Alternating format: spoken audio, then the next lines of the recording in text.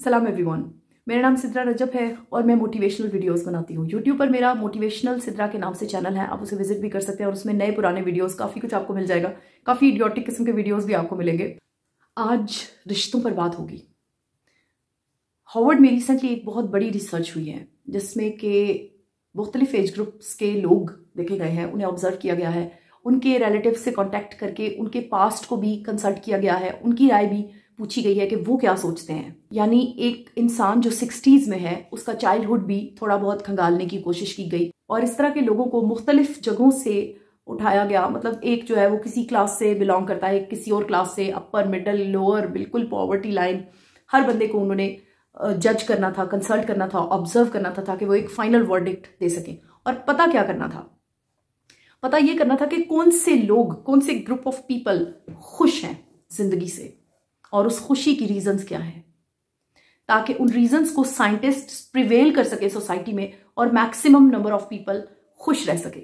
और साइंटिस्ट ने सबसे पहले जो चीज़ ऑन द रिकॉर्ड डिस्कस की, वो ये थी कि जो लोग फाइनेंशियली स्टेबल हैं, जो लोग फाइनेंशियली फिट हैं, वो ज़्यादा लोनलीनेस का शिकार है। वो ज़्यादा अनॉयड है। वो डेस्परेट है ज़िंदगी से। क्यों? क्योंकि उनके रिश्तों के अंदर लॉयल्टी नहीं है। जो भी लोग उनके इर्द गिर्द जुड़े हुए, चाहे वो औलाद है, बीवी है, रिश्तेदार है that is the basic reason of their money उनकी मौत पर फिक्रमंद होने वाले लोगों में मोस्टली लोग वो हैं जिनको कि उनकी मौत के बाद जुड़े हुए बेनिफिट्स का फ़िक्र है।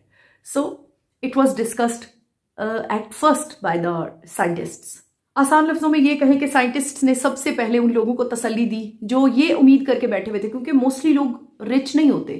तो मेजोरिटी को उन्होंने ये तसली दी कि ये जो आप लोग सोच रहे हो ना कि सबसे ज़्यादा वो लोग खुश होंगे जो बहुत ज़्यादा अमीर हैं या फाइनेंशियली स्टेबल है तो ऐसी कोई बात नहीं है। सबसे ज़्यादा वही लोग अनॉयड हैं। तो फिर खुश कौन लोग थे? खुश वो लोग थे जिनके रिलेशनशिप्स अच्छे थे, जिनके साथ लॉयल लोग जुड़े हुए थे। जैसे मैं क्या करती हूँ कि एक ऐसा सीना जिसके साथ लगकर आप अपना सारा दुख भूल जाएँ। एक ऐसा इंसान, अगर आपने वो नहीं कमाया अपनी ज़िंदगी में तो फिर आपने नहीं, कुछ भी नहीं कमाया, मेरी नज़र में। सो so, बस वही वाले इंसान जिन लोगों के पास थे मैक्सिमम जिन लोगों के पास मतलब जिनकी औलाद उनके साथ लॉयल है जिनकी वाइफ उनके साथ लॉयल है हस्बैंड लॉयल है इर्द गिर्द में से दोस्त लॉयल हैं तो वही लोग खुशकिस्मत हैं वही लोग खुश हैं। आप यकीन करें कि अच्छे रिश्ते अच्छा इंसान मिल जाना चाहे वो हमेशा आपके साथ ना रहे लेकिन थोड़े सरसे के लिए भी मिला हुआ ऐसा इंसान जिसे याद करके भी आपको मीठे आम का गुमान हो। तो ये बहुत बड़ी खुशकिस्मती है। लेकिन ये टेम्पोरल है। ये ओकेजनल एपिसोड ऑफ़ हैप्पीनेस है। True happiness forever happiness in the hearts of the hearts एक इंसान की तकमील इसी सूरत में मुमकिन है, जब उसके साथ जुड़े हुए लोग, ज़्यादा से ज़्यादा लोग लॉयल हों। मेरा मुद्दा यह है कि इसमें उन लोगों का कोई कमाल नहीं है। इसमें आपकी एफर्ट मैटर करती है। इसमें आपकी लॉयल्टी मैटर करती है। इसमें आपका एक्टिव होना मैटर करता है। इसमें आपकी ज़रूरत मैटर करती है। क्या वाकई आप सीरियस हैं ज़िंदगी को गुजारने के लिए? क्या वाकई आप अपनी ज़िंदगी की ये कमाई करना चाहते हैं? क्या वाकई आप उन डॉलर्स के, उन अंबारों के, वो जो एक अंबार लगे हुए दौलत के, उनसे ज़्यादा इस चीज़ को काउंट करते हैं कि जिसमें आप इंसानों को कमा रहे हैं? सो शॉर्टली एंड प्रिसाइजली मेरे लिए ज़िंदगी मैं अक्सर बात करती हूँ कि हाथों पे कैच की हुई रेत की तरह है। वो निकल जाएगी। उसने रुकना नहीं है। वो सरकती जा रही है। आप पे और मुझ पर डिपेंड करता है हम अपनी ज़िंदगी के लिए चाहते क्या है।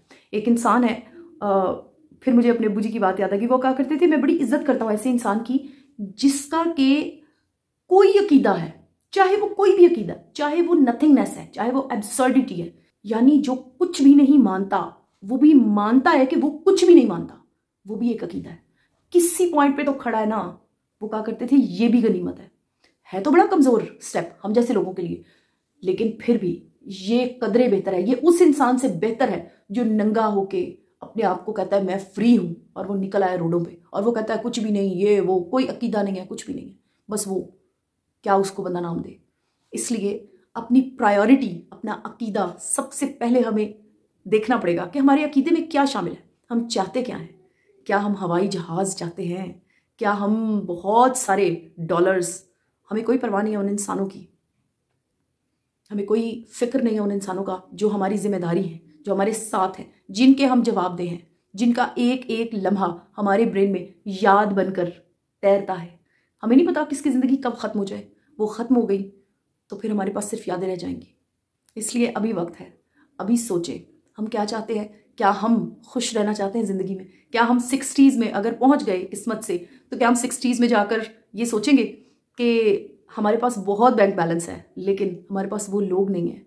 हमारे पास एक भी ऐसा नाम नहीं है जिसके बारे में हम फॉर श्योर ये कह सकें कि ये मेरा है या एक भी ऐसा सीना नहीं है जिसके साथ लगकर हम अपने दुख दर्द बिल्कुल भूल जाएँ।